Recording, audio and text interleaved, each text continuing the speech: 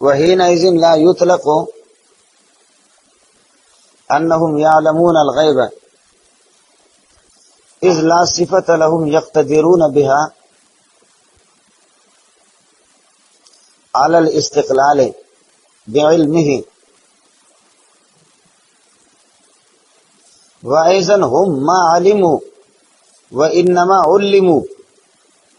ما علموا إنما علموا. یہ تین سو تیرہ صفحہ ہے دوسری جلد یہ مکتبہ سہیل اکیڈمی والوں نے چھاپا ہے۔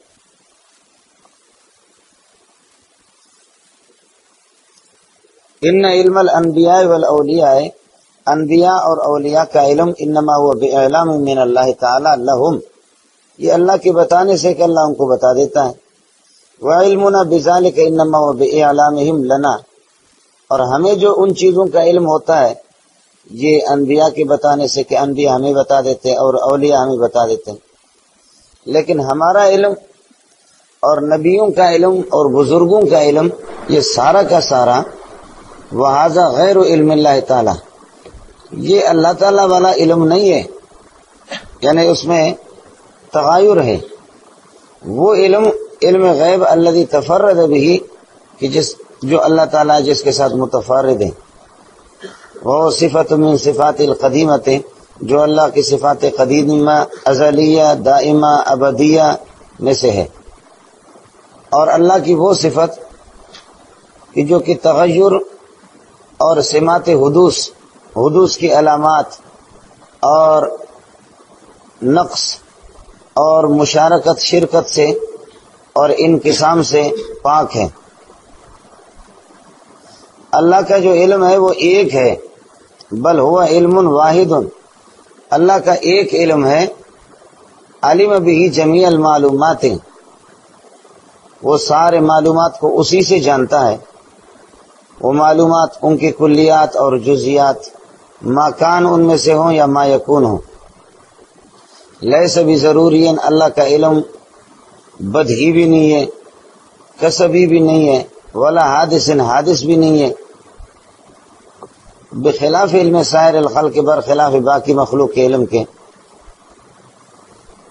اذا تقرر ذالک کا جب یہ بات ثابت ہو گئی، تو فعلم اللہ المذکور ہو اللہ کا وہ علم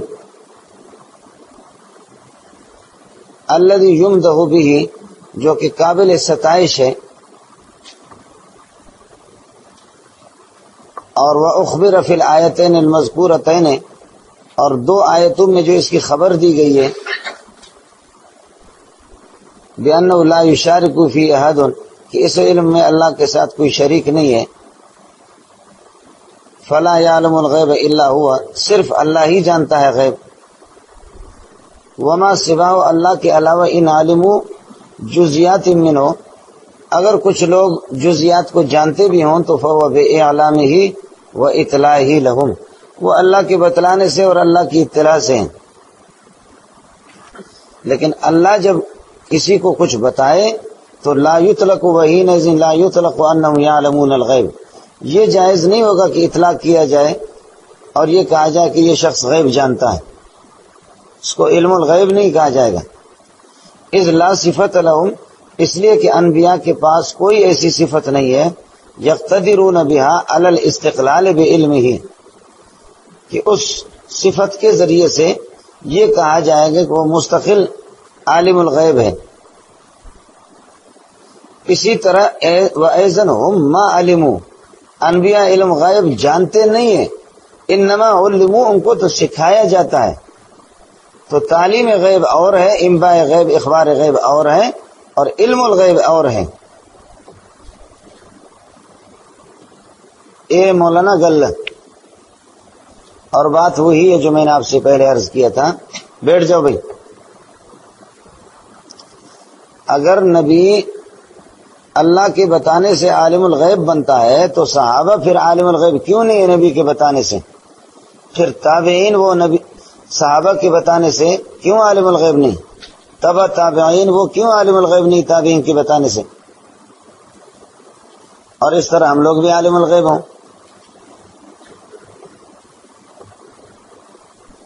یہاں ایک بات جو انہوں نے کی کہ اللہ کا علم ایک ہے اور اس علم کے ذریعے سے اللہ تعالی تمام معلومات کو، کلیات کو، جزیات کو ماکان وما یکون کو جانتا ہے۔ یہ وہی آپ کی منطقی بات ہے کہ علم مقول کیف میں سے ہیں۔ اور مقول کیف لا یقتزل قسمت واللہ قسمت فی محل ہی اقتضان اولی مختصر المانی کی عبارت ہے۔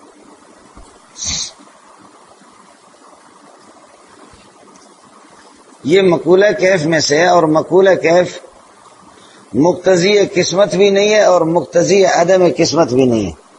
مل کیا ہے؟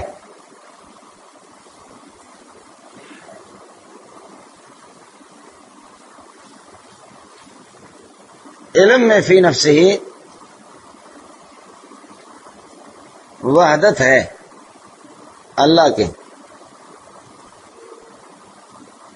اور اس میں تقسیم نہیں ہے، چونکہ مقولہ کیف میں سے اور مقولہ کیف میں میں عرض کر رہا ہوں کہ تعدد نہیں ہوتا۔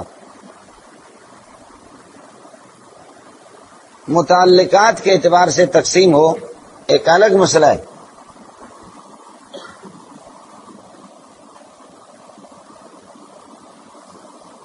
یہ مولانا وہی مقول کیف ہے۔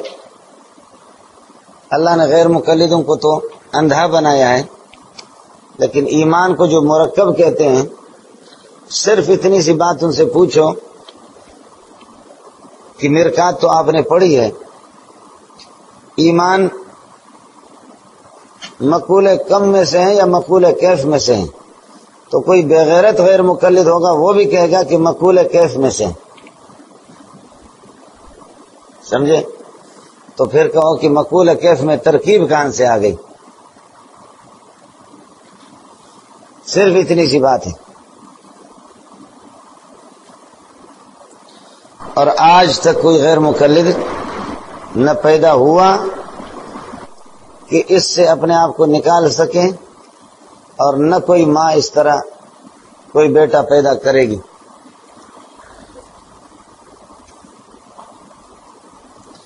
یہ وہ سوال ہے جو حضرت شیخ الہند رحمۃ اللہ علیہ نے اٹھایا تھا۔ اور یہ جماعت ایسی ہے کہ اللہ نے ان کو فارغ کر دیا ہے چونکہ علم سے اور سمجھ سے۔ لیکن اتنی بات تو ضرور کہیں گے کہ مقول کم میں سے نہیں ہے مقول کیف میں سے۔ مقول کیف میں سے ہے تو اس میں ترکیب کس طرح آ گئی کہ ایمان مرکب ہے؟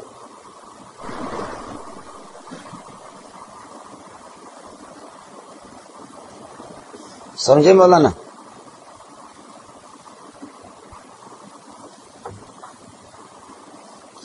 تو یہاں جو مسئلہ ہے، وہ یہی ہے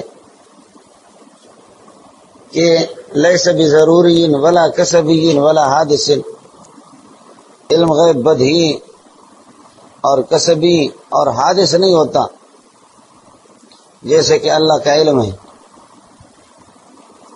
وہ خود حاصل شدہ ہوتا ہے۔ خود حاصل ہے وہ، اس کو۔ اور جو دوسرے سے علم حاصل کیا جائے واسطہ سے، ذریعے سے، تو اس کو علم غیب کوئی کہتا ہی نہیں۔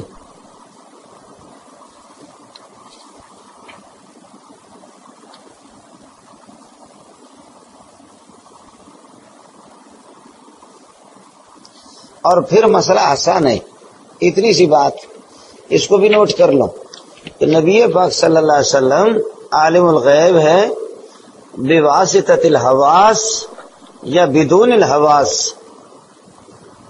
یعنی جو علم نبی کو حاصل ہے، وہ بواسطت الحواس ہے یا بدون الحواس۔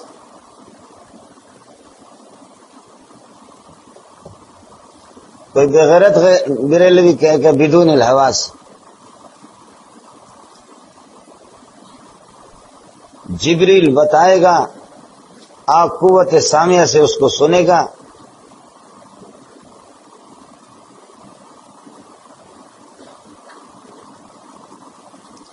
اور اندرونی جو حواس ہے، قوت حافظہ ہے، ذاکرہ، ان سے اس کو یاد رکھے گا۔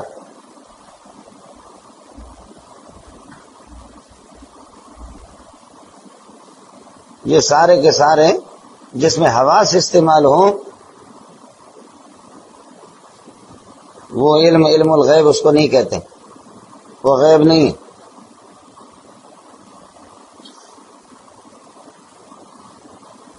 اس لیے نبراس نے لکھا ہے کہ اگر کوئی علم الغیب تو خدا کے علاوہ کوئی جانتا نہیں ہے، لیکن اس کو کوئی کسی کے لیے ثابت مانتا ہے، کوئی اس کا دعویٰ کرتا ہے کہ غیر اللہ بھی جانتا ہے، وہ بھی کافر ہے۔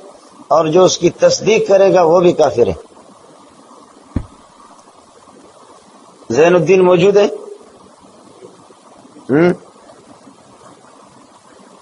موجود ہے؟ نکل گئے نا؟ موجود ہے۔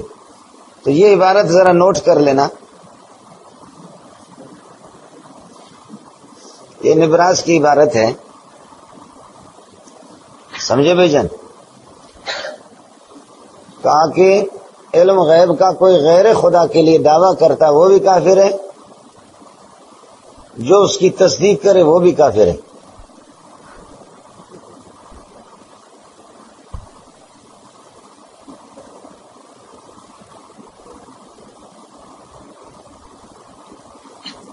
سمجھتا ہے۔ حضرت، یہ وہ لوگ ہیں جب ان سے جب بات کی جاتی ہے نا تو مفتی محمود نے کافر کیوں قرار نہیں دیا؟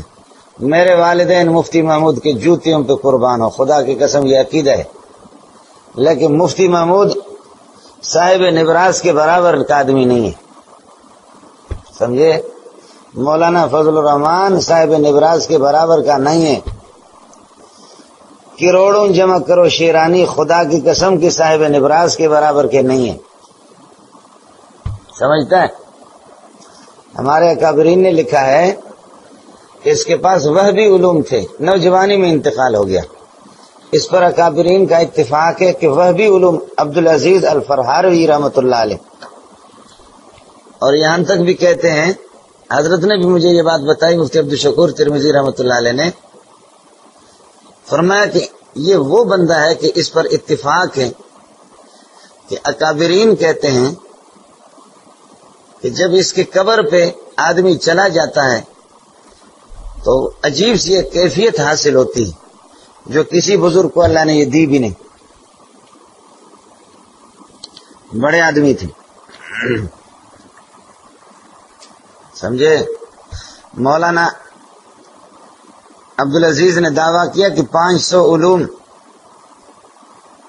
سے بھی زائد علوم ہیں۔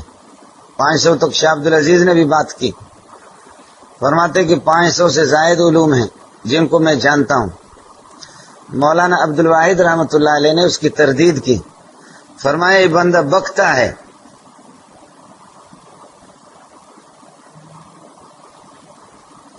فرمایا، یہ بندہ بکتا ہے۔ اکابرین نے زیادہ سے زیادہ پانچ سو علوم تک کہا۔ پانچ سو سے زائد علوم کون سے ہوتے ہیں؟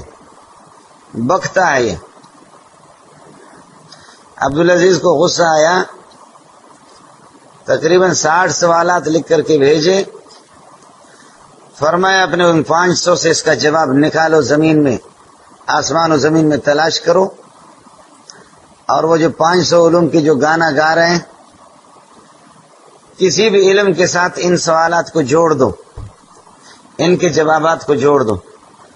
اگر آپ کے نامزد کردہ پانچ سو علوم کے ساتھ ان کا جوڑ بیٹھ جائے اور مطابقت آ جائے تو سبحان اللہ میں ہارا اور میں بک رہا ہوں۔ اور اگر پانچ سو علوم میں سے کسی کے ساتھ اس کا جوڑ نہ بیٹھے تو پھر ان پانچ سو سے باہر نکل کر کے ان کا جواب پھر میرے پاس آ جانا میں دے دوں گا۔ یہ پانچ سو میں نہیں ہے۔ پھر مان لینا۔ کہ نہ چھیڑ ملنگانو کتے پو ٹنگانو یہ اس معمولی عمر کے اندر اللہ نے تو مولانا عبد الواحد رحمۃ اللہ علیہ نے ہتھیار ڈال دیے کہنے لگے ہم سے غلطی ہو گئی یہ جس طرح جو بولتا ہے جو سوالات اٹھائے تو ہم نے نہ سنا ہے نہ اس کا تصور کر سکتے بڑے دماغ والے لوگ ہوتے ہیں بڑے دماغ والے لوگ ہوتے ہیں۔ کیا خیال ہے آپ کا؟ آپ جامع فاروق کے کسی مدرس دارالعلوم، بنوری ٹاؤن کے کسی مدرس کو کہیں کہ اما بعد کے اندر کئی ترکیبیں، لاکھوں ترکیبیں ہیں، تو اس کو مانے گا؟ لیکن جو دماغ والے لوگ ہوتے ہیں، جیسے اللہ موسا خان رحمۃ اللہ علیہ، النجم السعد فی تحقیق اما بعد، ان کا رسالہ۔ دیکھو کہ اس نے لاکھ سے زائد بھی، کتنے لاکھ اس نے لکھا ہے ترکیبیں اس میں۔ دماغ ہوتا ہے، دماغ ہوتا ہے۔ کتاب موجود ہے، اس کو دیکھو۔ کون کہ تین چار ہزار صفحات جو ہے نا، لفظ اللہ کے تحقیق پر کوئی لکھے گا اور عرب بھی ہتھیار ڈالیں گے کہ صحابہ سے لے کر آج تک ایسا بندہ ہم نے نہیں دیکھا کہ جس نے الہیات میں اتنی تحقیق کی ہو۔ نہ ابو حنیفہ کو یہ ہوا، نہ کسی اور بزرگ کو۔ خدا نے وہ مولانا موسا خان کے حق میں یہ دیا۔ بس اللہ دیتا ہے تو نہیں پوچھتا کہ یہ کوئی پٹھانے میں اس کو دے دوں اور ابو حنیفہ کو یہ نہیں ملا۔ ہر ایک کی اپنی ایک خصوصیت ہوتی ہے، اللہ دے دے۔ مولانا یہ ہے، یہ حضرت فرما رہے ہیں کہ جو یہ دعویٰ کرے کہ غیب جانتا ہے، وہ کافر ہے۔ اور جو اس مدعی کی تصدیق کرے، وہ بھی پکا کافر ہے۔ مولانا عبدالعزیز رحمت اللہ علیہ، وہ تحقیق کو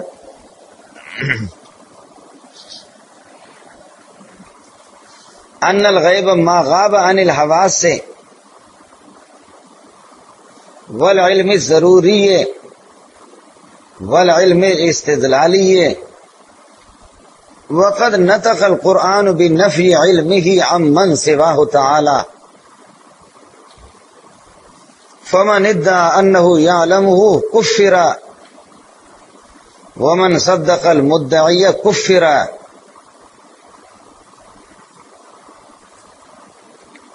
وأما ما علم الله أكبر وأما ما علم بحاسة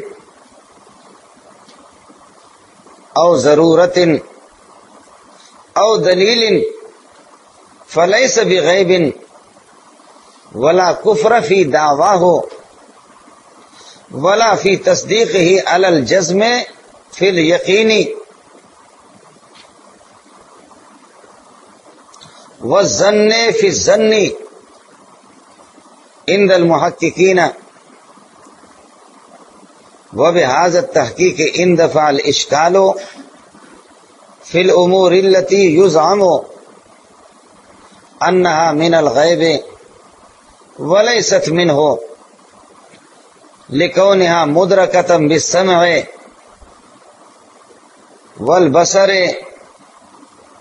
والدليل فأحدها الله أكبر مولانا بریلوی جو پاڑ پٹی چڑھے ہو۔ فأحدها اخبار الانبیاء لأنها مستفادة من الوحی۔ ومن خلق العلم الضروری فیہم او من انکشاف القوائن على حواسهم او من انکشاف القوائن على حواسهم یہ وہ جو برخوردار کا جو حاشیہ ہے نا، آپ لوگوں نے دیکھا ہے۔ برخوردار خود بریلوی ہے، بریلوی ٹائپ کا آدمی ہے۔ تو نبراس دو آتے ہیں۔ ایک جو امدادیہ والوں نے چھاپا ہے، اس کے صفحات پانچ سو بنتے ہی نہیں ہیں۔ میں اس نبراز کا حوالہ آپ کو دے رہا ہوں، جس پر برخوردار کا حاشیہ ہے۔ اور یہ عبارت برخوردار کی نہیں ہے۔ مولا برخوردار صاحب کی۔ سمجھے بھائی جان؟ یہ جو عبارت ہے، خود حضرت رحمت اللہ علیہ کی، حافظ صاحب کی۔ حافظ کے نام سے مشہور ہے۔ درس و تدریس کے ساتھ، ان مشاغل کے ساتھ ساتھ نبراس دو مہینے میں لکھا۔ ہے تو یہ برخوردار کا جو حاشیہ ہے، اس اعتبار سے اس کے صفحات زیادہ ہے اور پانچ سو سے زیادہ بنتے ہیں۔ ہمارے دارالفتہ میں اس کا نسخہ رکھا ہوا ہے، آپ کے کتب خانہ میں بھی شاید ہو۔ زرد کاغذ ہے اس کا۔ اسی کا۔ اب ہوں تھی سمجھو۔ فرماتے غیب تحقیق کی بات یہ ہے۔ غیب وہ ہوتا ہے کہ جو حواس سے خمسہ ظاہریہ اور حواس سے خمسہ باطنیہ ان سب سے غائب ہو۔ اور وہ علم ضروری سے بھی باہر ہو۔ الگ چیز ہے۔ وہ علم استدلالی بھی نہیں ہے۔ ایک الگ چیز ہے۔ اور وقت نتقل قرآن و بھی نفی علم ہی امن سفا تعالی۔ اللہ کی ذات کے علاوہ قرآن نے سب سے غیب کی نفی کر دی کہ کوئی غیب نہیں جانتا۔ فمن نہ عالم ہو جو یہ دعویٰ کرے کہ غیب جانتا ہے، وہ اس کو کافر قرار دیا جائے، اس کی تکفیر کی جائے گی۔ ومن صدق المدعیہ صدق المدعیہ جو اس مدعی غیب کی تصدیق کرے گا، کفر ہے، وہ بھی کافر ہے۔ یہ کیا ہے؟ یہ وہ فتویٰ ہے جو اللہ شاہ کشمیری کا جو میں نے آپ لوگوں کو اصولوں میں لکھوایا کہ جو آدمی قطعیات کا منکر ہو، وہ کافر ہے۔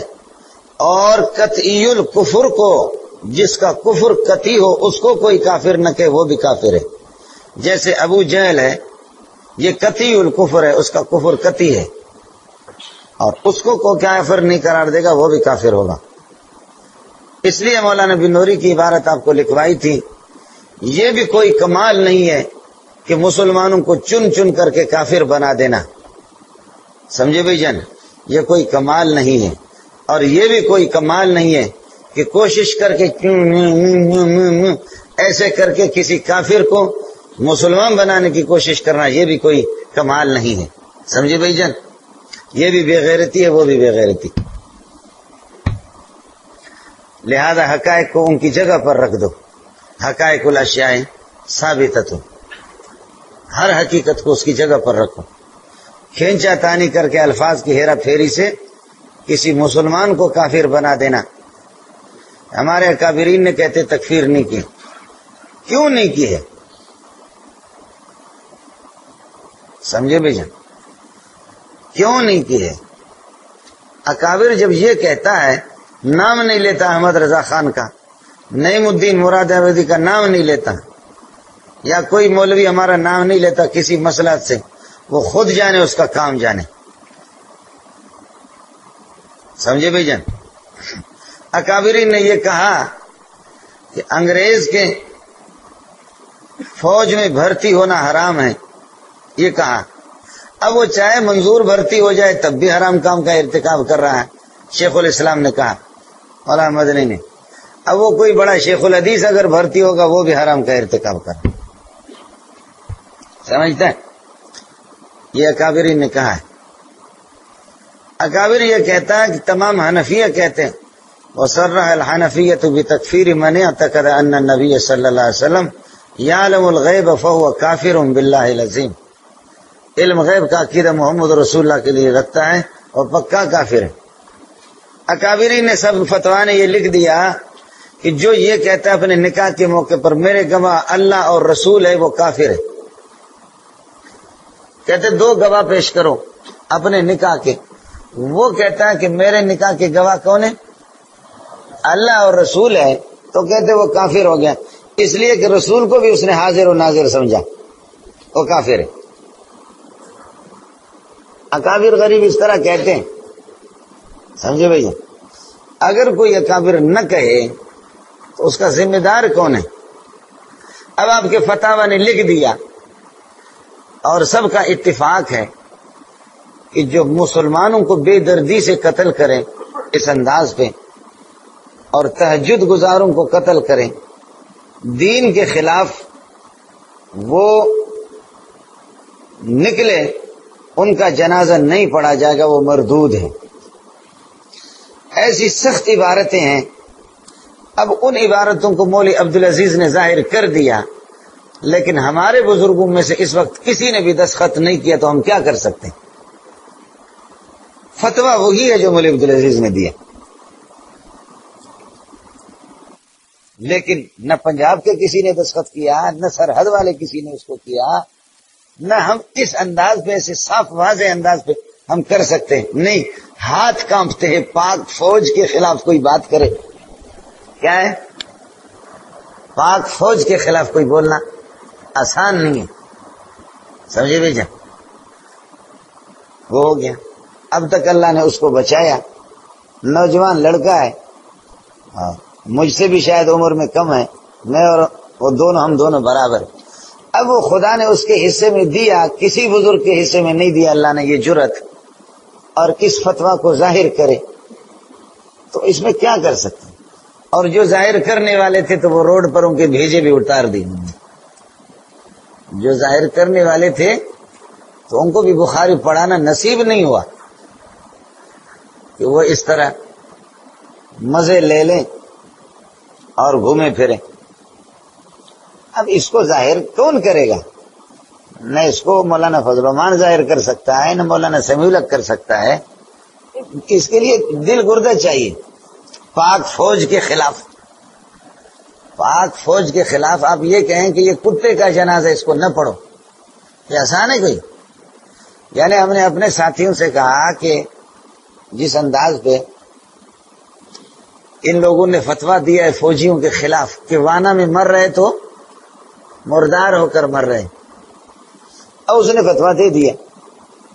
ہم نے ساتھیوں سے کہا کہ یہ سختی برتی ہے، تحقیق کرو اس کی۔ تو مولی زاہد ہے یہ جو ہمارے دارالفتا والے ساتھی، ان کو عبد الغنی کو، ان ساتھیوں کو لگایا کہ آپ لوگ کچھ حوالے نکالو۔ جو حوالے انہوں نے جو نکالے، جب اکابرین کے پرانے اکابرین، وہ وہ اکابرین ہیں، آپ کے علماء دیوبندوں کے مقابلے میں کچھ بھی نہیں ہے۔ دیوبند کو تو ڈیڑھ سو سال ہو گئے۔ سمجھے بھائی جان؟ اکابرین دیوبند میں منحصر نہیں ہے دیوبند کے اکابرین وہ ہے اکابرین۔ لیکن وہ پرانے اکابرین بڑے بڑے لوگ ہیں۔ اکابرین صرف دیوبند سے تھوڑی آئے۔ وہ پرانے فتح کی کتابیں بڑے بڑے اہم حضرات۔ انہوں نے نکالا، عبارت نکالا۔ وہ عبارت وہ تھی کہ اللہ کی پناہ۔ اس کو اگر آپ ظاہر بھی کریں گے نا تو تیری زبان کٹے گی فوراً۔ وہ ہے مولی زاہد کے پاس تو اس نے نکالا۔ اس کے لیے دل گردہ چاہیے۔ سمجھے؟ تو اکابرین نے تکفیر تو کی ہے۔ کافر کا کوئی دم نہیں ہوتا۔ سمجھے بھائی جو کافر ایسا کافر بھی ہوتا ہے تحجد بھی پڑتا ہے۔ ایسا کافر ہوگا، جماعتوں کی تشکیل میں بھی جائے گا۔ ایسا کافر ہوگا کہ اس کی پیشانی گھس بھی جائے گی۔ لیکن وہ اعلی درجے کا کافر ہوگا۔ اس کے لیے کوئی وہ ضروری نہیں ہے کہ اس کی پیشانی پر آپ کو لکھا ہوا نظر آ جائے کہ وہ جی یہ کس قسم کے کافر، میں نے عرض کیا کہ وہ غزوہ میں بھی جائے گا، جہاد میں بھی جائے گا۔ وہ نبی کی درس کی پابندی بھی کرے گا۔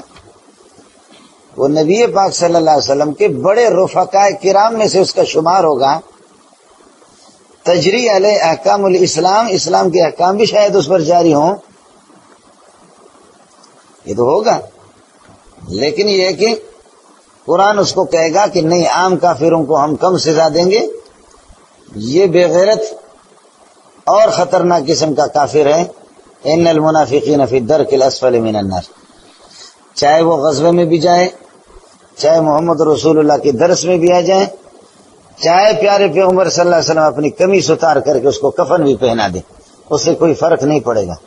ہم معاملہ دل کا کریں گے۔ بولا کہ ضرور اللہ کلو بھی دل کا معاملہ کریں گے۔ محمد رسول اللہ کی کمیز بڑی قیمتی ہے، لیکن وہ کمیز وہاں پر فائدہ دے گی جہاں پر انیس بیس کا فرق ہو۔ کسی کے نمبر اٹھارہ ہوں تو اس کمیز سے پھر بیس بن سکتے سمجھے بھائی حکیم حضرات کہتے ہیں کہ جو آدمی مردانگی کمزوری ہے اس کو، کچھ کمزوری کی ہے، تو ہماری دوائی سے پھر یہ ہو سکتا ہے کہ ہم اس کو جوش دلائیں گے۔ سمجھے بھائی جان جی۔ باقی ایسا حکیم آپ کو نہیں ملے گا کہ جو اس کو ایسی دوائی دے دے کہ یہ بھی شادی کے قابل ہو جائے۔ آپ سمجھ نہیں رہے سمجھے نہیں سمجھے؟ ایسا کوئی حکیم آپ کو نہیں ملے گا کہ جو اس کو ایسا کشتہ دے دے کہ یہ چار شادیاں یہ کرے۔ کیا سمجھ میں ہے؟ حکیم کی دوائی صرف وہ اٹھارہ بیس کا مسئلہ ہے۔ جیسے کہ ہمارے امتحانات ہوتے نا، تو ہمارے ساتھی لاتے کہ بھائی اس کو ضرور اپنے خامصے میں داخل کرنا ہے۔ سفارش، گولی لگے مولی منظور۔ فلانے مولوی کے خط لے کر آئے فلانے مولوی۔ ہم بھی ساتھیوں کو یہی سمجھاتے ہیں کہ بابا، سفارش تو ہم کریں گے۔ لیکن سفارش وہاں ایک آدمی کے اٹھارہ نمبر ہے تو بیس کرا دو اور پچیس، تیس کرا دو لیکن ایک بدبخت ہے، ہی زیرو۔ تو یہ تو بالکل ناجائز اور ظلم ہے۔ محمد رسول اللہ کی سفارش وہاں جو نفس ایمان تو ہو کم از کم، نفس ایمان ہو پھر محمد رسول اللہ کی کمیز بھی نفع دے گی اور آپ کی سفارش بھی نافی ہوگی۔ سمجھے؟ اور آپ کی دعائیں بھی نافی ہوں گی۔ اور یہاں ایمان ہی نہیں ہے تو سوا لاکھ نبی بھی اگر سفارش کریں گے، اس کی مغفرت نہیں ہوگی۔ ان اللہ لا یغفر ان یشرک به و یغفر ما دون ذلك سمجھتا؟ ہے اس لیے اکابرین نے تکفیر کی ہے مولانا۔ باقی آپ اپنے لیے اور میرے لیے دعا کریں کہ خدا ہمیں وہ جرت عطا فرمائیں کہ کلمہ حق کا اظہار آدمی کر سکے۔ یہ مشکل ہے۔ سمجھے بھائی مولانا احمد علی لاہوری جب توحید بیان کرتا ہے تو ان کی داڑھی پکڑنے کے بھی منصوبے باقاعدہ تیار کیے جاتے ہیں۔ اور یہ بھی ہوتا ہے کہ مسجد سے گھسیٹ کر کے اس کو ذلیل کر کے نکالو۔ حضرت کو باقاعدہ ڈنڈے لے کر کے بدتی آتے ہیں۔ حضرت رحمت اللہ علیہ فرماتے کہ مجھے پتہ چل گیا آج لڑائی ہوگی۔ یہ کرو، ایک آدمی تم میں سے آ جائیں میں ایک ہاتھ میں قرآن۔ مجھے ایسی بیماری لگی ہے، سفر میں بھی در سے قرآن کو ترک نہیں کرتے تھے۔ آپ اندازہ کریں، سفر میں آدمی جائے تب بھی در سے قرآن اور توحید بیان کریں۔ اور ہزر میں بھی بریلیوں کی مسجد ہو یا دیوبندیوں کی۔ اور فرمانے مجھے پتہ چل گیا کہ آج تمہارا منصوبہ بنا ہے۔ مجھے ذلیل کر کے نکالو گے، مہربانی کرو۔ میں ایک ہاتھ میں قرآن لے لیتا ہوں اور دوسرا ہاتھ میرا یہ ہے، لڑنے کی ضرورت نہیں۔ ایک آدمی صرف مہربانی کرے، ایک دو آدمی آ جائے میرے ہاتھ پکڑ کر کے مجھے مسجد سے نکالو۔ کہ تاکہ اس کیفیت کو، اس شکل کو خدا تو دیکھ لے۔ میرے پروردگار، اس شکل کو تو دیکھے کم از کم کہ کس انداز پہ دو آدمی، جیسے کوئی اندھا ہوتا ہے، اس کا ہاتھ پکڑ کر کے اس کو لے جاتے تو میں خدا کو یہ بتا سکوں کہ میں خود اپنے اختیار سے نہیں نکلاتا، مجھے نکالا گیا۔ گسیٹنے کی بھی ضرورت نہیں، چلتا رہوں گا میں خود۔ لیکن ایک ہاتھ میں قرآن ہو اور دوسرا ہاتھ میرا یہ ہے، لڑنے کی ضرورت نہیں گھسیٹنے کی ضرورت بھی نہیں۔ آپ مجھے کھینچتے رہو، میں نکلوں گا۔ اور میں تاکہ اس کو بتا بھی سکوں، شاید ڈیجیٹل کیمرے کے ذریعے سے اس کی تصویر بنائی جائے۔ شاید فرشتے، سمجھے بھائی جان؟ ڈیجیٹل کیمرے تو ان کے پاس ہوتے ہیں۔ تو تاکہ وہ اس کی تصویر بنائیں، میں بھی نبیوں کے سامنے یہ کہہ سکوں کہ میری بیماری تھی، ایک بیماری تھی جو اس سے مجھے کبھی نجات نہیں ملی، قرآن بیان کرنے کی دیکھو، میری حالت یہ میرے پروردگار، ہاتھ میں قرآن تھا۔ W W W A H N A F N of dot com علماء کرام کی تقاریر۔ مناظرے، حمد و نعت اور اسلامک آڈیو کا بہترین کلیکشن۔ احناف ڈاٹ کام۔ دوسرا ہاتھ مجھے گھسیٹ کر کے نکالا گیا، کھینچ کھینچ کر کے نکالا گیا۔ تو اس خدا، اس شکل کو اللہ تعالی شاید نوٹ کر لے۔ تو اب بریلوی ایک دوسرے کی طرف، وہ کہتے آپ آگے ہو جاؤ، وہ کہتے آپ آگے ہو جاؤ۔ مولوی صاحب نے ہاتھ تو بڑھایا۔ کہ ایک آدمی صرف اشارہ کرے جیسے اونٹ کو مہار سے پکڑ کر کے بچہ بھی لے جاتا ہے، لے جا سکتا ہے۔ تو اب کوئی وہ کہتے تو آگے ہو جا، وہ کہتے تو آگے ہو جا۔ تیسرے نے کہا، خدا کی قسم، ہمیں بھی پتا ہے یہ ہمارا مولوی نہیں ہے، یہ قرآن والا، حلوہ خور نہیں۔ آگے ہو جاؤ گے، تباہ ہو جاؤ گے۔ چوتھے نے کہا کہ خبردار خبر، دشمنی ہے۔ لیکن اس حالت میں جب ہاتھ، ایک ہاتھ میں قرآن ہے، اس حالت میں اس کو نہیں کھینچنا۔ سمجھے بولا نا؟ یہ ہے باغیر تو بنو۔ سمجھے بھائی جان؟ باقی جو کچھ ہوگا تو سو ہوگا۔ غیر مقلد دنیا کا خبیص ترین انسان ہے۔ جو اللہ کی جو توہین کرے اور سلف صالحین کو، ائمہ کرام کو اور صحابہ کو جو نہ مانے، ان سے بڑا بغیرت کون ہوگا؟ سمجھے بھائی جان؟ یہ بات ہے غلام حسین نجفی کی کتابیں میرے پاس ہے آپ اس میں دیکھو۔ آپ مجھے یہ بتاؤ کہ ہم یہ کہتے ہیں کہ بھائی، خنزیر کو مارنے کے لیے کتے کو کبھی ساتھ لے کر کے جانا پڑتا ہے۔ کتے کو لے لیں، خنزیر کو پہلے مارو۔ ہم؟ کتے کو لے کر خنزیر کو ماریں گے، پھر کتے سے نمٹ لیں گے۔ امریکہ ہے یا دوسرے ملت کفر ہے، وہ خنزیر ہے۔ تو یہ جو بریلوی ہے یا یہ غیر مقلدین ہے یا شیعہ ہیں، یہ کتے ہیں۔ کتوں کو لے کر کے ساتھ ہم چلیں گے؟ خنزیر سے فارغ ہو جائیں گے، پھر کتوں سے نمٹ لیں۔ مولانا، یہ اس خنزیر سے بدترین خنزیر۔ صرف بات سمجھ کی ہے کہ آپ اس خنزیر کو، خنزیر کوئی نہیں، کیوں نہیں سمجھا؟ آپ نے اس کو کتا کیوں سمجھا؟ یہ کتا نہیں ہے۔ یہ اس خنزیر سے زیادہ خطرناک ہے۔ اس لیے کہ اس خنزیر نے یہ تو نہیں کہا کہ آپ کا عمر کہیں سے کسی مرد کو دیکھتا، اس کو ہاتھ جوڑ کر کے کہتا تھا کہ میں الٹا گرتا ہوں، میرے اوپر چڑھ جاؤں اس خنزیر نے خبیص نے آج تک یہ بات نہیں کی۔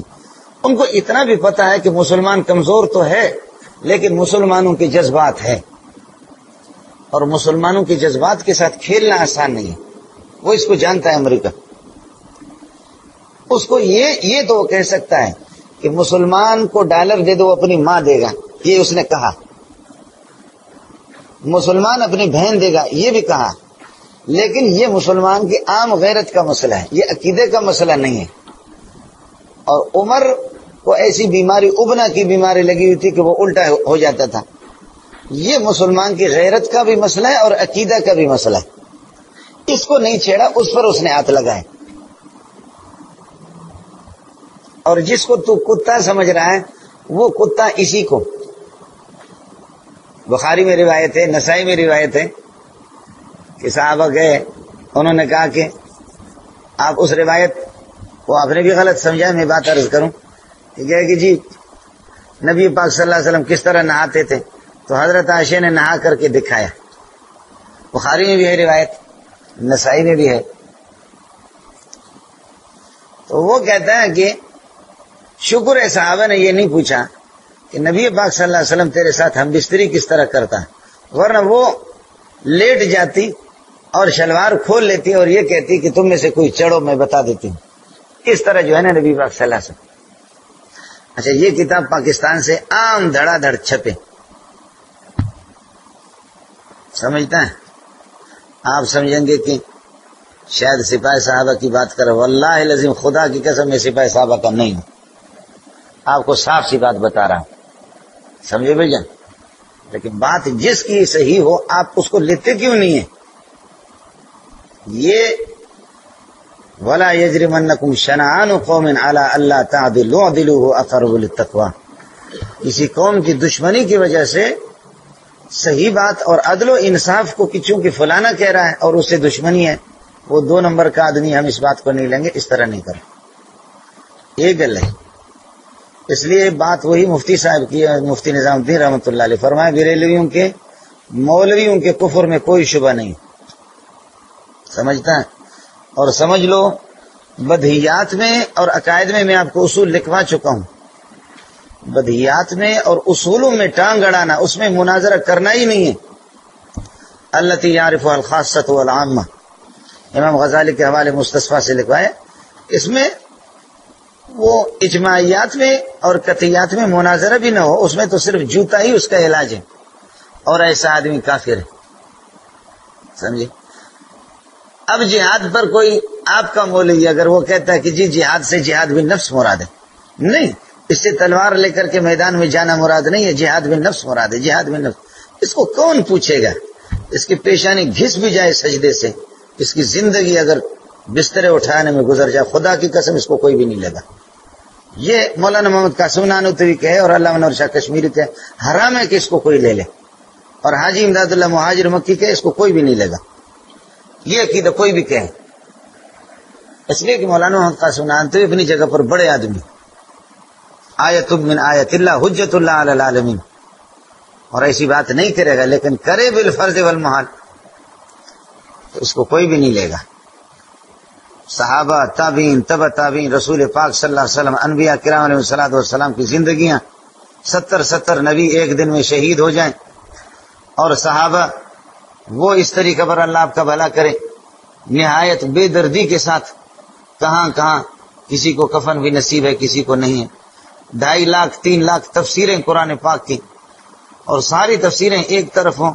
اور اب اگر کوئی آ کر کے یہ کہیں کہ نہیں، وہ تو علامہ شبلی کو کس نے پسند کیا؟ شبلی، علامہ شبلی۔ اس نے کہا جہاد اقدامی کچھ نہیں ہے، جہاد دفاعی ہے۔ شبلی کی دال گلی نہیں۔ شکر ہے کہ وہ اس کا چھوٹا جرم ہے۔ جو اس جہاد کی حیت قضائی شکل سے انکار کر رہا ہے، یہ بڑا، یہ ایمان کا مسئلہ ہے۔ اس کے لیے دلائل موجود ہے اس کے لیے نہیں۔ ہے اس کے لیے دلائل موجود ہے شبلی جو کچھ کہہ رہا۔ کہ جہاد اقدامی اور ابتدائی مراد نہیں ہے۔ جہاد دفاعی مراد ہے۔ اس کی شریعت نے اجازت دی۔ اس غریب کی دال بھی گلی نہیں، علامہ شبلی نو مانی گلی نہیں دال۔ اس کو اٹھا کر کے اس کے سر پہ مارا گیا۔ سمجھے بھائی جان؟ شاہ ولی اللہ نے کہا کہ عالم قدیم ہے، قدیم بن نو ہے۔ ابن تیمیہ نے کہا قدیم بن نو ہے۔ ابن عربی نے کہا قدیم بن نو ہے۔ شاہ ولی اللہ کہتا ہے کہ جہنم فنا ہو جائے گا۔ ابن تیمیہ کہتا ہے کہ فنا ہو جائے گا۔ ابن قیم بھی اس کو اٹھا کر ان کے سر پہ مارا گیا۔ اس کو کسی نے لیا نہیں۔ اور تکفیر کی لوگوں نے، ائمہ نے تکفیر کی کن کی کافر ہے۔ ماں جلالت شان اتنے بڑے ائمہ ہونے کے۔ یہاں تک بھی لوگوں نے کی اتنے کبرین اتنے بڑے۔ بدہیات اور قطعیات میں مسئلہ نہیں چلے گا۔ فماندا ان کفرا اس کی تکفیر کی جائے گی۔ ومن صدق المدا یا کفرا مدعی کی جو تصدیق کرے گا وہ بھی کافر ہے۔ باقی وہ اما معلوم اب او ضرورت، جو چیز حواس کے ذریعے سے معلوم ہو یا بداطن معلوم ہو، او دلیل یا کسی دلیل کے ذریعے سے، امارات کے ذریعے سے معلوم ہو، دلائل سے فلحی سے بھی غیب اس کو غیب کوئی کہتا بھی نہیں ہے۔ ولا کفر فی دعویٰ ہو اس کا کوئی اگر دعویٰ کرے گا، اس کی تکفیر نہیں کریں گے۔ وہ تو علامات سے دے کر موسمیات والے بھی بتاتے ہیں۔ ولا فی تصدیق الجزم فی یقینی اگر یقینی بات ہے اور یقینیات میں اس کی کوئی تصدیق کرے، اس میں بھی اس کی تکفیر نہیں کی جائے گی۔ اور ضنیات میں سے کوئی زنن، کوئی بات وہ بھی دلائل سے کہہ دیتا ہے، تو تب بھی محققین کیا اس کی تکفیر نہیں کی جائے گی۔ اب سمجھو، وہ حاضر تحقیق ان دفعہ اشکال ہو۔ یہ اس میری اس تحقیق سے جو غیب کی میں نے تعریف کی، اس سے وہ اشکال ختم ہو گیا۔ ان چیزوں کے سلسلے میں وہ کیا ہے؟ اللہ یوزام انہا من الغیب۔ لوگوں کو غیب سمجھتے، دیوبندی خود غیب سمجھتے کہ ہم جزی علم غیب نبی کے لیے مانتے دیوبندی کی اپنی کتابی بھری ہوئی ہے۔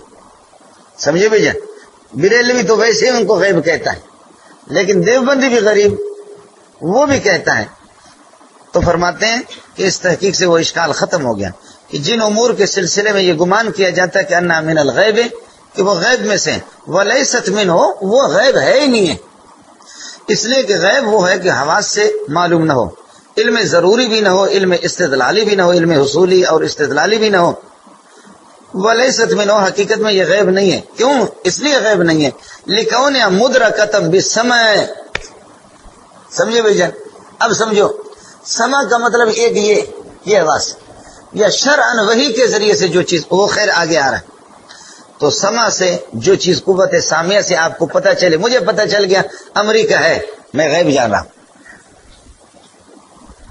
سمجھے بھائی پوری دنیا نے مجھے بتا دی۔ اس کا علم مجھے سامان حاصل ہو گیا۔ میں نے امریکہ کو دیکھ لیا۔ یا علامتوں سے کسی چیز کو، جو آپ سے غائب ہے، میں نے دیکھ لیا۔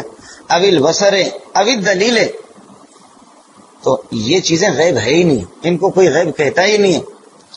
اس لیے جب یہ مسئلہ آپ سمجھے تو اب سمجھو۔ فرماتے ان امور میں سے جن کو لوگ غیب سمجھتے ہیں، ان کی غلطی ہے۔ ایک ان میں سے اخبار الانبیاء نبیوں کی خبریں ہیں۔ نبیوں نے جن چیزوں کی بات بتائی، ان کو بھی لوگ غیب سمجھتے ہیں۔ وہ غیب نہیں ہے لہنا مستفادت من الوحی وہی اللہ نے ان کو بتا دی، جبریل نے بتایا۔ ومن خلق العلم ضروری فیم یا اللہ نے وہ علم نبی کے ذات میں پیدا کر دیا، نبی کو بتا دی۔ تو تب بھی وہ نہیں۔ او من انکشاف القوائن اللہ ہوا سہم یا اللہ تعالی نے حقائق کو کھول دیا، کشف کر دی اللہ ہوا سم نبی کے حواس پر۔ نبی نے اس کا ادراک کر دیا۔ اس کو کوئی غیب کہتا ہی نہیں ہے۔ جان چھٹے۔ اور جھگڑا ان کا نہیں ہے، جھگڑا علم الغیب کا ہے۔ تکفیر اور عدم تکفیر علم الغیب کی ہے۔ سمجھے بھائی جان، آج اگر بریلی صرف یہ تو کہہ دیں کہ ہم امبا الغیب، اخبار الغیب، اطلاع الغیب، وہ بھی فضول چیزوں کی نہیں۔ ما یحتاج فی امور الدین، دین میں جن چیزوں کی ضرورت ہے، اس کی بھی اطلاع الغیب امبا الغیب، اخبار الغیب کی بات کر ایک ہی ہم بریلوی؟ ہم بھی حنفی ہے وہ بھی حنفی ہے فرعیات میں۔ یہ گل جی۔ وہ تھی سمجھ گئے نہیں سمجھے؟ علم غیب کسن میں دانت بجز پر وردگار ہر کسے گو یت کی میدانم ازو باور، مدار۔ مصطفیٰ ہر گز نہ گفتے، تا نہ گفتے۔ جبرائیل جبرائیل جبرائیل ہم نہ گفتے، تا نہ گفتے، کردگار۔ علم غیب کوئی بھی نہیں جانتا سوائے خدا کے۔ اور جو کہتا ہے کہ اللہ کے علاوہ کوئی جانتا ہے تو اس سے اس کو بھروسہ نہ کرو، اس خبر پر یقین نہ کرو۔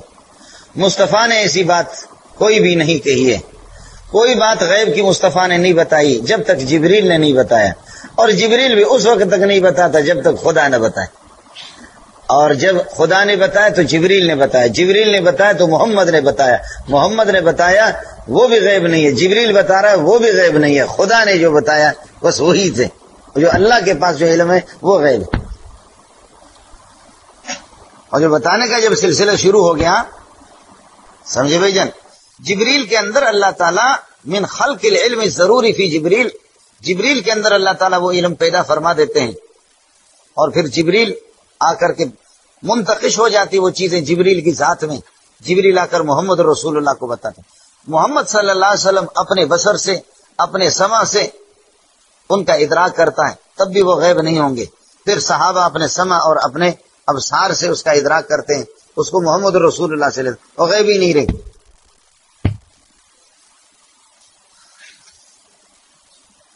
سمجھتا ہے؟ اس لیے مولانا، ایک دلیل بھی غیب پر نہیں ہے۔ علم غیب پر۔ جو دلائل ہے، وہ اطلاع الغیب کے، وہ آپ کے مدعا کے نہیں ہے اور جو آپ کا مدعا ہے وہ علم غیب ہی نہیں ہے۔ اور سمجھو، آپ جو لڑ رہے ہیں، جس چیز میں آپ کو لڑنا تھا، اس میں آپ لڑ بھی نہیں رہے۔ اور آپ جس میں لڑ رہے، وہ وہ چیز نہیں ہے جس پہ آپ کو لڑنا ہے۔ کیا سمجھ میں آیا؟ کتاب تو آپ نے لکھی دو سو صفات کی، تین سو صفات کی۔ سمجھے بھائی جان؟ میں عرض کر رہا ہوں کہ جو بریلوی کا مدعا ہے علم الغیب، تو دلائل اس پر نہیں۔ اور جس پر دلائل ہے وہ مدعا نہیں۔ وہ اطلاع الغیب ہے، اخبار الغیب امبا الغیب۔ سمجھ رہی میں ہے کہ نہیں؟ جو اس کا مدعا ہے علم الغیب، دلائل اس کے نہیں ہے اگر کچھ دلائل ہے بھی، وہ اطلاع الغیب، اخبار اور جس چیز پر دلائل ہے، وہ اس کا مدعا ہی نہیں ہے۔ اور آپ سے گزارش ہے دیوبندی صاحب، جس چیز کے بنیاد پہ بریلوی سے آپ کو جس مدعا پہ لڑنا ہے، وہ مدعا آپ بھی نہیں سمجھے۔ آپ بھی تو کہتے ہیں کہ جزی ہم ہاں بھی جزی مانتے بھائی۔ سمجھے بھائی انا للہ و انا الہ راجعون۔ انا للہ و انا الیہ راجعون۔ لکھو ہاں مدرک کیا فرماتے ہیں؟ ان دفعہ الاشکال فی الامور التي یزعم انها من الغیب. اور وہ یزعم و زائم کون ہے جو گمان کرتا ہے؟ دیوبندی بھی گمان کرتا ہے. وہ بھی غریب. اس لیے مولانا، یہ گل ہے. اب آؤ، اس کو کیا پتا ہے؟ آدم علیہ السلام سے لے لو. میں عرض کر رہا ہوں کہ باقی انبیاء کے لیے یہ غریب اتنے شد و مد سے دعویٰ بھی نہیں کرتے. مسئلہ کچھ کمزور ہے۔ یہ عزت صرف محمد رسول اللہ کو بخشتے ہیں، یہ مقام اللہ کی صفت چھین کر کے، اس میں اشتراک کی صورت پیدا کر کے محمد رسول اللہ کو شریک کرتے ہیں۔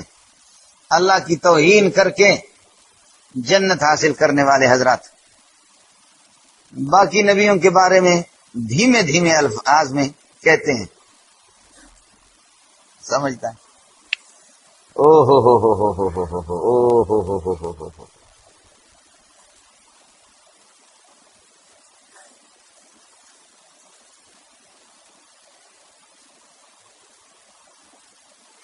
کیا سمجھ میں آیا؟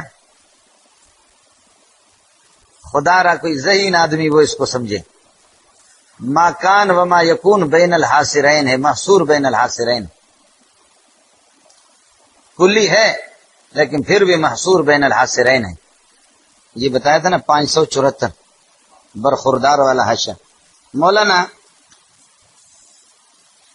ہمارے اور بریلویوں کے درمیان میں یہ مقدمہ متفقن علیہ ہے کہ نبی پاک صلی اللہ علیہ وسلم کا علم ساری کائنات میں انبیاء، غیر انبیاء سب سے زیادہ ہے۔ ایسا ہے نہیں ہے۔ ارے بولو، ایسا ہے۔ رضا خانی بھی یہی کہتے ہیں، آپ کا علم یہ ہے کہ سب سے زیادہ ہے ٹھیک جی۔ ہاں ما کان و ما یکون مولانا،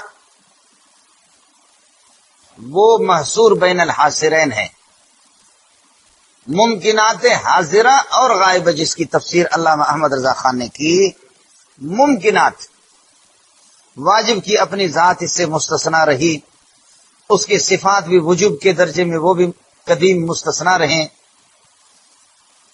ما کان و ما یکون، یہ ممکنات ہیں اور ممکن محصور بین الحاصرین ہے ممکن کی بدایت بھی ہے، ممکن کی نہایت بھی ہے۔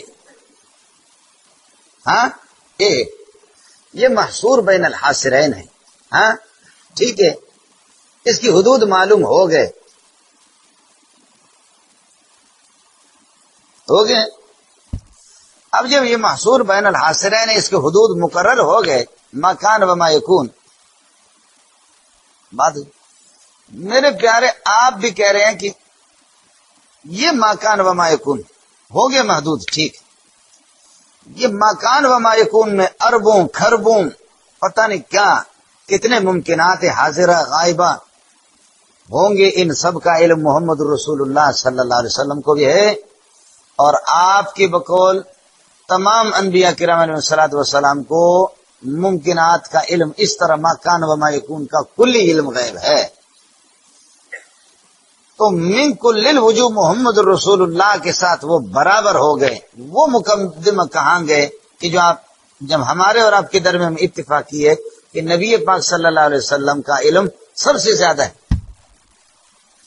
اس لیے کہ یہ کلی ہے آپ کی، جو دو نقطوں میں گھرا ہوا ہے۔ ماں کان کانا ایک نقطہ ہے اور یقون و الا یوم القیامہ ایک نقطہ ہے۔ اب اس میں کچھ کمی ہے کسی اور نبی کے لیے، تو پھر ماکان بھی ناقص ہو گیا۔ یقون کی کچھ چیزیں اگر کسی نبی سے منفی ہے تو کلی نہیں رہا۔ سمجھے؟ تو ان کے لیے بھی آپ جزی مانتے ہیں، آپ بھی گستاخ ہے اور اگر کسی کانا کے کوئی فرد میں کمی بھی نہیں ہے اور یقونوں کی بھی کسی فرد میں کمی نہیں ہے، وہ بھی اسی طرح کلی طور پر نبیوں کے لیے ثابت ہے، جس طرح محمد رسول اللہ صلی اللہ علیہ وسلم کے لیے، تو پھر آپ کا علم اور دوسرے انبیاء کرام علیہ صلاح وسلم کا علم برابر رہا۔ وہ خلاف المفروض ہے۔ یہ خلاف مفروض ہے اور وہ جو متفق علیہ، جو مقدم ہے ہمارے اور آپ کے درمیان میں کہ آپ کا علم سب سے زیادہ ہے۔ غلطی سمجھن ہماری پر سمجھ میں کون آئی سمجھے بھیا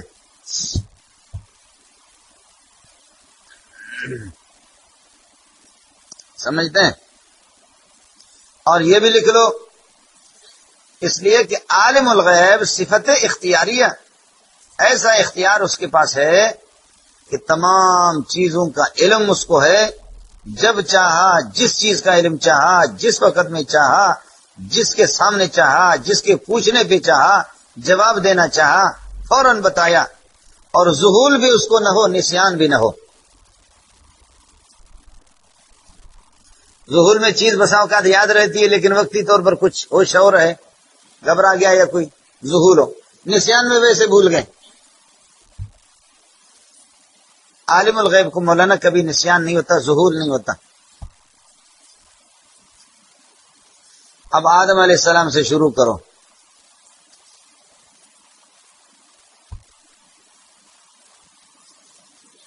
آ کر ان کے سامنے کہتا مانا کما ربو کمانا شجرت اللہ تکونا ملکین او تکونا من الخالدین تمہارے پروردگار نے تمہیں منع تو کیا ہے؟ سمجھے؟ اس شجر سے لیکن اس لیے منع کیا ہے کہ کھاؤ گے تو ملائک بن جاؤ گے، ہمیشہ رہو گے خدا کے قریب۔ ورنہ تو اسی طرح انسان ہی رہو گے۔ وقاسم قسمیں کھائی ان کے سامنے۔ قرآن کہتا فنسی آدم آدم بھول گئے۔ عالم الغیب کو نسیان ہو گیا۔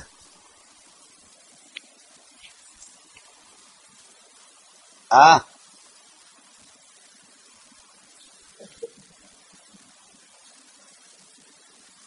ہوں سمجھ میں آیا؟ آیا سمجھ میں؟ یہ تو ہو گیا بریلوی والی بات۔ مولانا، افغانستان میں میں جنگ لڑ رہا ہوں۔ تو آمین۔ روسیوں کے خلاف، امریکیوں کے خلاف میں جنگ لڑ رہا ہوں۔ رات کے شدید تاریکی میں دیکھ رہا ہوں کہ ادھر سے کوئی آ رہا ہے۔ مجاہدین بھی کہہ رہے کہ اللہ کی قسم یہ روسی ہے۔ میرا بھی گمان میں نے اس قسم پر خدا کے وہ صوفی صاحبان اللہ کی قسم اٹھا کر کے کہہ رہے ہیں۔ میں نے اللہ کی عظمت کے پیش نظر یقین کر لیا کہ واہ، بالکل ٹھیک۔ میرا بھی اپنا گمان یہی ہے ضن غالب یا یقین کہ واقع یہ کوئی روسی ہے۔ خوب سمجھ لینا۔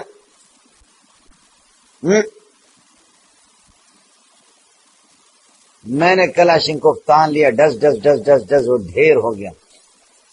بتی لے کر کے گئے تو دیکھا کہ وہ وفاق المدارس کا کوئی فاضل تھا اور وہ کوئی شیخ الحدیث تھا یا کوئی شیخ التفسیر تھا جو ڈھیر ہو گیا۔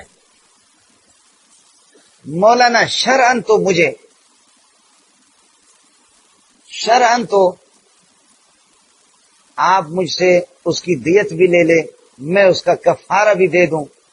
یہ ہوگا، لیکن مجھے ثواب ملے گا، حقیقت میں یہ میرا گناہ نہیں ہے۔ میں نے جو کچھ کیا، اللہ کی رضامندی کے لیے کیا۔ آپ سمجھیں؟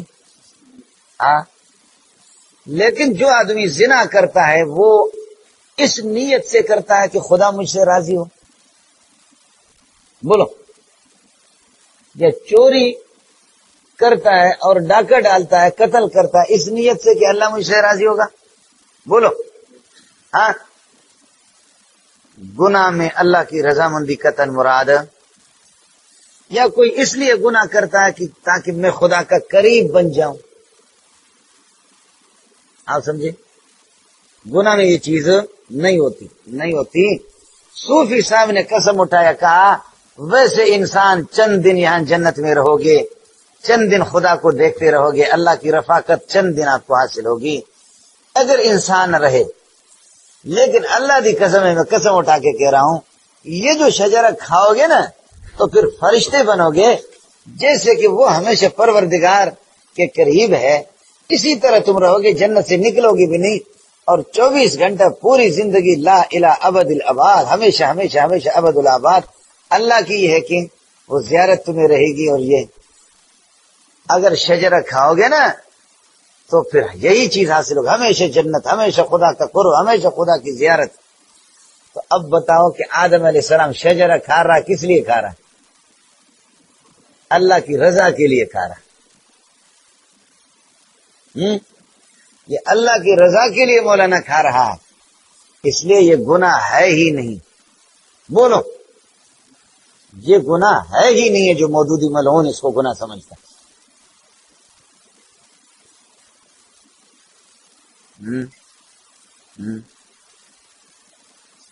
اور اسیان اور معصیت کا اگر اطلاق اس پر کیا ہے، ظاہری طور پر اور مشاکلتن یہ وہی ہے، وفا کرو گے وفا کریں گے، جفا کرو گے جفا کریں گے۔ ہم بھی ہے تمہارے جیسے انسان، جو تم کرو گے ہم وہ کریں گے۔ W W W A H N A F N of dot com. علماء کرام کی تقاریر، مناظرے، حمد و نعت اور اسلامک آڈیو کا بہترین کلیکشن۔ احناف ڈاٹ کام۔